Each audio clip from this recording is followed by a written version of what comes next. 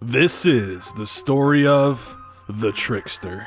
Ji-woon Hak craved attention and fame even from a young age. He started performing tricks with throwing knives at his family's restaurant, which attracted tourists who gladly doled out their money to witness such a spectacle. Ji-woon's father spent the earnings on singing and dancing lessons for him, pushing Ji-woon to become the star he never could. And after years of showcasing his abilities at talent shows, Ji-woon was recruited by none other than Yun Jin Lee, a producer at Mighty One Entertainment. He was shipped off to a dormitory in Seoul where he would train for 14 hours a day to become a pop star. And his insane dedication paid off as Yunjin selected him to join the up and coming band No Spin.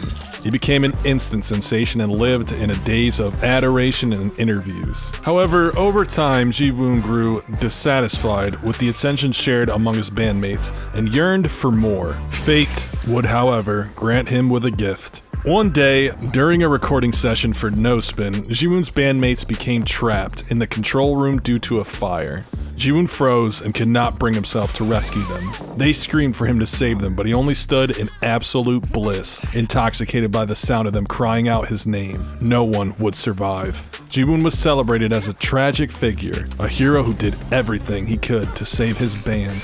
He was reborn as a solo artist called The Trickster.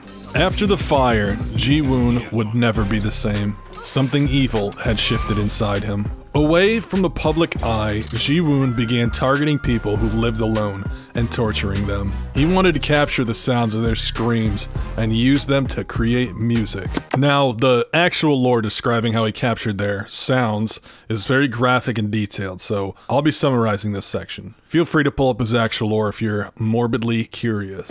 He adjusted his methods and began abducting his victims, bringing them to abandoned buildings where he could let their voices carry unrestrained emotion. He recorded each session and synthesized the sounds into his music, creating a unique and disturbing style. Jiwoon left hints for the police at his crime scenes, creating dazzling spectacles of his victims as a plea for attention. Due to violence now becoming his preferred art style, his music career took a hit. The money machine was slowing down. Mighty One executives pointed their fingers at him, and it was decided that he was no longer allowed to self produce his songs. Ji Woon was devastated. If they cannot understand his art, he would incorporate them into it until they did. He decided to plan his magnum opus for a private show for the board members of Mighty One. He transferred a ridiculous amount of money to a veterinarian for nitrous oxide, and then bribed a stage technician for access to the private theater. Again, the magnum opus is quite graphic, but to summarize, he knocked all the board members out with nitrous oxide, piled them up on the stage, and used his throwing knives to make them sing. However, among the board members in the theater was Yunjin Lee, who had saw the potential in Ji Woon and gave him the opportunity at stardom. Before the magnum opus began, Ji Woon had propped her up as the sole audience member. He thought she deserved special access to the coming display of wonder. After the final act, he made his way to Yunjin with his blade in hand. But once he got to her, the fog. From where, he didn't know, but it billowed around them, damp, cool, comfortable.